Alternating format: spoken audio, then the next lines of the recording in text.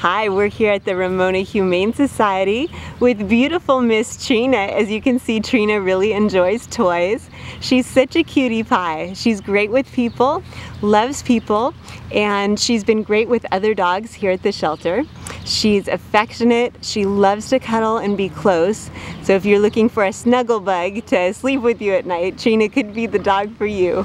She is fairly active, she has a moderate energy level, and would do great with someone who would like to take her on long walks in the neighborhood. And she's just a little angel.